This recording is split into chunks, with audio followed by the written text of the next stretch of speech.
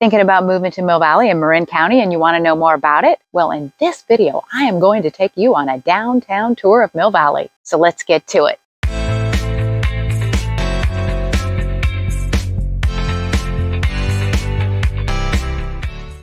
If you're new to my channel, welcome. And if you're thinking of moving to Mill Valley or anywhere in Marin County in the next 10 days or the next 10 months, reach out, give me a call. I love to help people make a smart, smooth move. My contact information is in the show more below. Now, without further ado, I am now headed to the heart of Mill Valley, what a lot of people would be considered the downtown. Right now, I am driving through Mill Valley. This is Miller Avenue. There's really two ways to get to the place that I'm on my way to right now.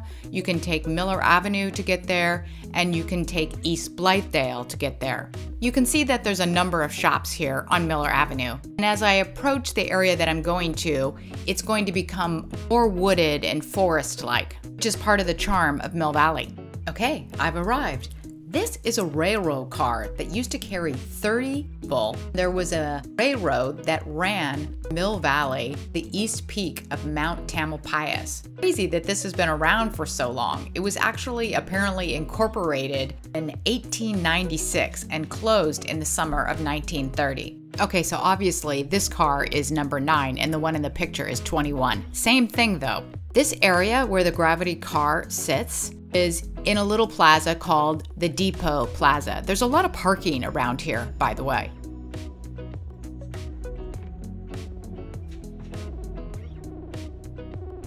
The building we're coming up on is the old train depot. This was a depot that started in 1890 when train tracks were laid to bring people here, purchase land at an auction. Yes, that means the train tracks were laid before anybody bought any lots in Mill Valley.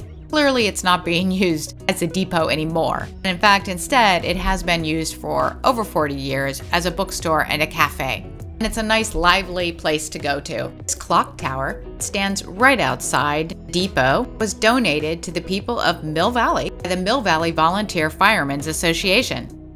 I took a ride off of Miller Avenue right there at the Depot Cafe onto Throckmorton, and now I'm headed down Throckmorton to show you what's over here.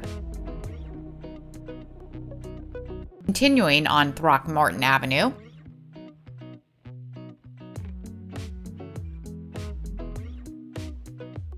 and here are some places to shop and places to eat.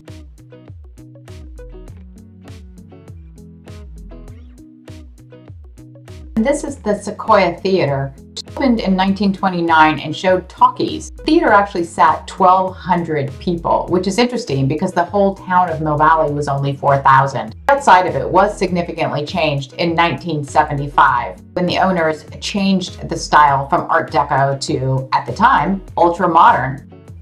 Turning around now and heading back from where I came from, but on the other side of the street.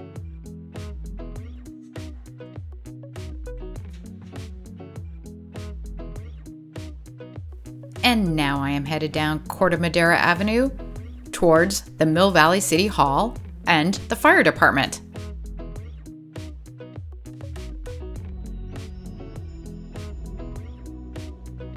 And right across the street, we have the Sweetwater Music Hall. It has a long history of live musical performances. They had Bonnie Raitt, Carlos Santana, you might see Gregg Allman and Train, and other people just drop by also serve food. It's a small, intimate venue. Seeing a performance here is like nothing you've seen before. Getting back to Throckmorton now to head down the other way where we're going to pass the depot and go even further than that.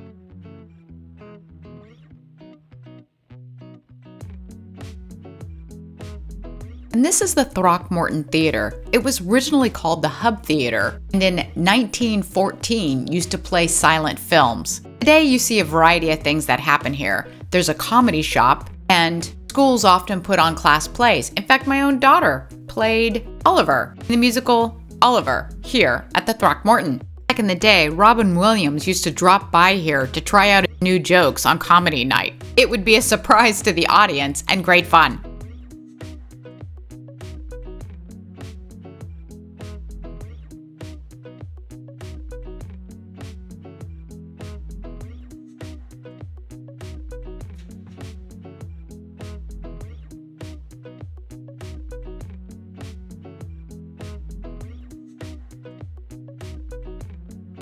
Farther down here is a very large, beautiful park called Old Mill Park.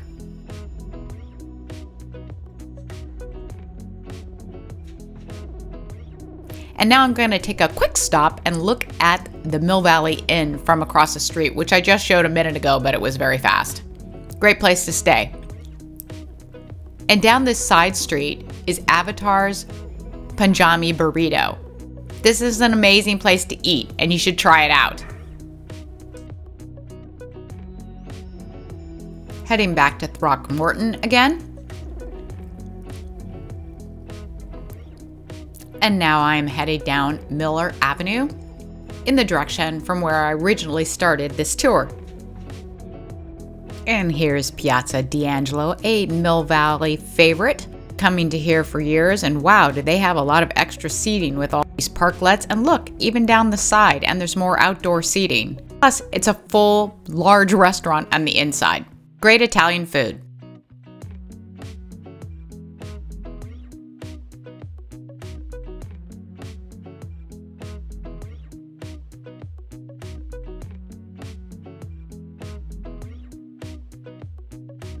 If you'd like more information about living in Mill Valley, add a comment below and ask me for the Mill Valley information. And if you like this video, give me a thumbs up, subscribe, hit the bell, and you'll be first to be notified when I drop a new video, which is every week. I hope you enjoyed this information on Mill Valley.